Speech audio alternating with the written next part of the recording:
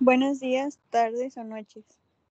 Nosotros somos el equipo número 4 de la materia Ingeniería de Reactores con el profesor Flores Velázquez Roberto.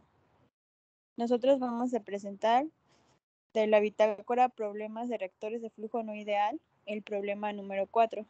Presenta García Ramírez y Clali Danelli, García Ramírez y Clali Guadalupe, González Quintero Marbella y Martínez Rosas Marisol.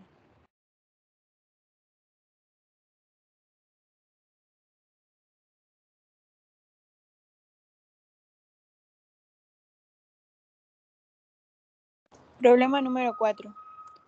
R. L. Bell, 1972, investigó las distribuciones del tiempo de residencia en bandejas de destilación a escala comercial, utilizando una técnica de fibra óptica.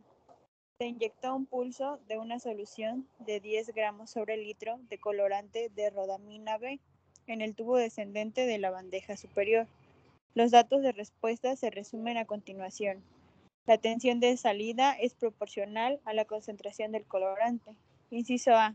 Determina el tiempo de residencia medio y la curva Ft característica de este sistema. Solución. Tenemos a continuación la gráfica del tiempo versus la concentración para un sistema de impulso. Se procede al cálculo del área bajo la curva para eso tenemos que el área bajo la curva es igual a la sumatoria de cada uno de los datos de la concentración por la diferencia de tiempo. Usando Excel obtuvimos un área bajo la curva de 1.399. Para el cálculo de esta área, como podemos ver, tabulamos eh, datos de tiempo versus la concentración, eh, que sería la tensión de salida, el delta t en cada intervalo de tiempo. Obtuvimos una C promedio. Y para el último dato multiplicamos el delta t por el C promedio. Al obtener todos estos datos tabulados, hicimos la sumatoria y obtuvimos un área de 1.399. Para el cálculo del tiempo de residencia, tenemos que, o sea, la curva E, tenemos que calcular E es igual a la concentración de impulsos sobre A. Por lo tanto, tabulamos los siguientes datos para cada uno de los tiempos. E, la delta T, que es la diferencia del tiempo, E promedio, que es el promedio de E, en este caso se toman dos valores, y delta T por E promedio. Para comprobar esto nos tiene que dar que la sumatoria de delta T por E promedio es igual a 1.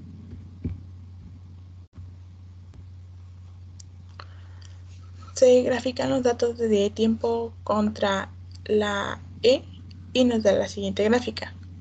Para el cálculo del tiempo de residencia tenemos que el tiempo de residencia es igual a la sumatoria del tiempo promedio por el promedio.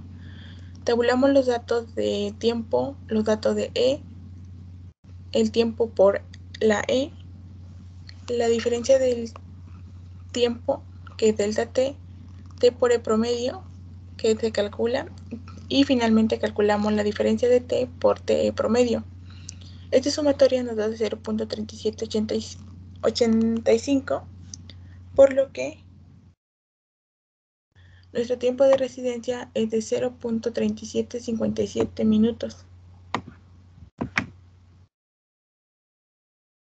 Para el cálculo de la curva f, características del sistema, se usa la relación entre curvas f y e, teniendo la fórmula que es igual, f es igual a la integral de 0 hasta t de e por dt. Tenemos seis pasos para calcular la curva f. En este caso, el primer paso es calcular e, tomando los valores obtenidos anteriormente. Para el paso 2, tenemos obtener la diferencia del tiempo. Paso 3. Calcular e promedio en un intervalo de dos datos. Paso 4. Calcular e promedio por dt por t. Paso 5. Calcular el tiempo promedio. Paso 6. Realizar la integración. Esto se hará sumando el valor de E promedio por delta T al anterior, es decir, de manera acumulativa. De la misma manera se resume en la tabla siguiente, donde la sumatoria es igual a 1 para comprobar nuestros resultados.